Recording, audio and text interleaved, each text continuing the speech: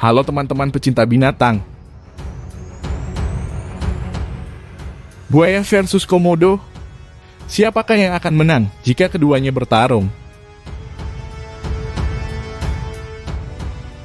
Buaya air asin adalah reptil terbesar di bumi.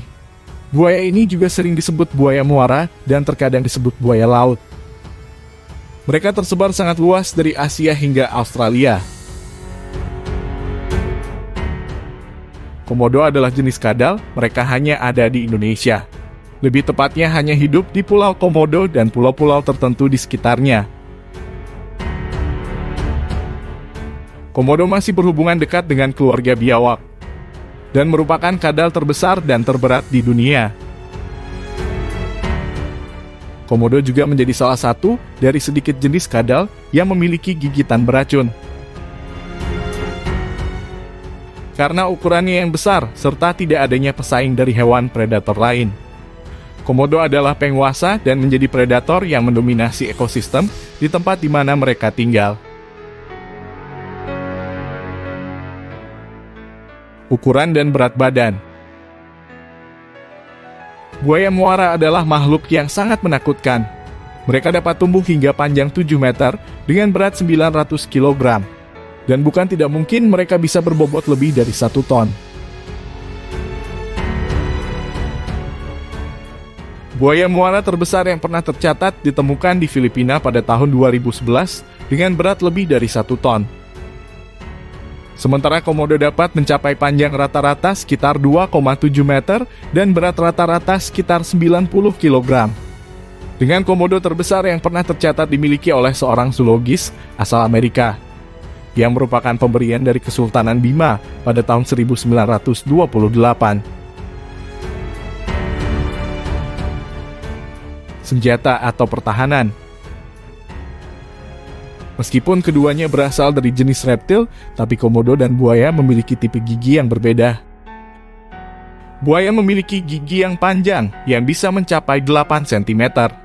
Dan gigi pada buaya terlihat sangat jelas walau mereka bukan sedang tersenyum atau sedang membuka mulut. Sementara komodo justru sebaliknya gigi komodo tertutup oleh gusi sehingga jika dilihat sekilas, mereka tampak tidak memiliki gigi sama sekali. Bahkan ketika mereka membuka mulut sekalipun. Walaupun fakta sebenarnya mereka memiliki gigi. Semua para pecinta hewan liar sebagian besar mengetahui jika buaya adalah hewan dengan gigitan terkuat. Gigitan hewan ini benar-benar tidak tertandingi berada jauh di atas hewan mana pun. Kekuatan gigitan buaya berukuran sedang saja sudah dapat menghancurkan tempurung kura-kura. Satu saja gigitan buaya bisa berakibat sangat fatal untuk hewan mana pun. Sementara di sisi lain, sejauh ini saya tidak menemukan sumber terpercaya tentang berapa kekuatan gigitan dari komodo. Tapi kemungkinan besar kekuatan gigitan dari komodo tidak akan lebih kuat dari buaya. Meskipun kalah dalam hal gigitan, komodo memiliki kelebihan lain berupa racun. Air liur komodo sudah diketahui memiliki racun, dan ini sudah menjadi senjata komodo dalam membunuh hewan besar. Meskipun racun komodo tidak terlalu mematikan, seperti halnya racun ular. Ketahanan stamina Buaya dan komodo adalah reptil, dan hampir semua reptil merupakan hewan berdarah dingin. Hewan-hewan berdarah dingin biasanya tidak terlalu tahan dengan panas, dan mereka akan cepat kelelahan. Tapi kemungkinan besar komodo sedikit lebih unggul dalam hal stamina. Hal ini dikarenakan mereka asli hewan darat dan berburu di darat. Sehingga mereka lebih terbiasa dengan panas matahari, sementara buaya adalah hewan akuatik. Meskipun mereka juga bisa bertahan di darat, tapi sebagian besar hidup mereka berada di dalam air. Sehingga meskipun mereka mematikan di air, tapi di darat mereka lambat dan memiliki ketahanan stamina yang buruk. Sekarang mari kita analisis pertarungan. Buaya versus Komodo. Siapakah yang akan menang jika keduanya bertarung?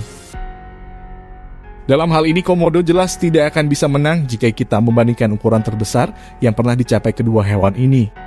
Dengan berat satu ton, buaya akan dengan mudah menghabisi Komodo di darat ataupun di air. Tapi bagaimana jika keduanya memiliki ukuran dan berat yang sama? Buaya tetap akan menang jika pertarungan terjadi di dalam air. Meskipun komodo juga bisa berenang, tapi air adalah habitat asli buaya, sehingga buaya akan jauh lebih hebat. Lalu kemudian bagaimana jika keduanya bertarung di darat? Saya sendiri masih menjagokan buaya, dengan alasan buaya sudah terbukti bisa merepotkan hewan darat seperti singa dan harimau. Yang mana singa dan harimau jauh lebih hebat dari komodo. Meskipun komodo memiliki gigitan beracun, tapi racun komodo akan bereaksi jika gigitannya berhasil melukai lawan. Sementara bagian tubuh buaya yang mudah tergigit adalah punggung. Dan punggung buaya memiliki kulit yang keras serta tidak mudah untuk ditembus. Tapi hal ini bukan berarti komodo dipastikan kalah, mereka masih punya peluang besar untuk menang. Tapi jika harus memilih, saya akan memilih buaya sebagai pemenang.